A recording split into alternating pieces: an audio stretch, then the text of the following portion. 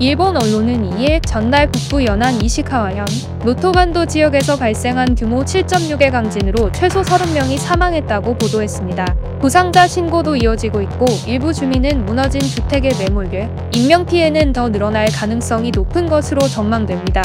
이번 지진의 규모는 2011년 3월에 발생한 동일본 대지진의 규모 9.0보다는 작지만 1995년 1월의 한신 대지진보다 강력했습니다.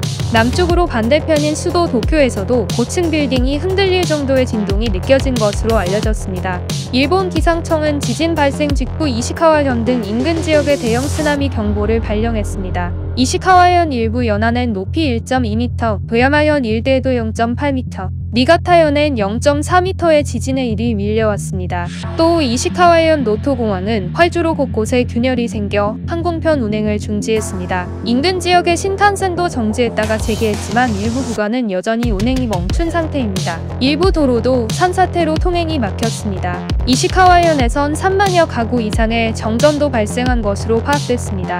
한편 이번 지진의 여파로 우리나라 동해안에도 지진 해일이 밀려왔습니다.